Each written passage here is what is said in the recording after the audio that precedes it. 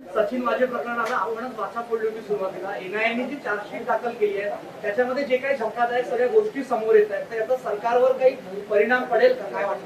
नाही मी अजून एनआयची जी काही चार्जशीट आहे त्यातल्या सगळ्या गोष्टी काही माझ्यापर्यंत पोचल्याने मी अजून त्याचा अभ्यासही केलेला नाही. पण एकूणच मला असं वाटतं की हे जे सगळा घटनाक्रम आहे हा सरकारला धक्का देणाराच आहे. एखाद्या भारतासारख्या महाराष्ट्रासारख्या प्रगत राज्यामध्ये एखाद्या पोलीसमधले लोक अशा प्रकारची घटना करू शकतात. यापेक्षा अजून धक्कादायक दुसरं काय असू शकतं?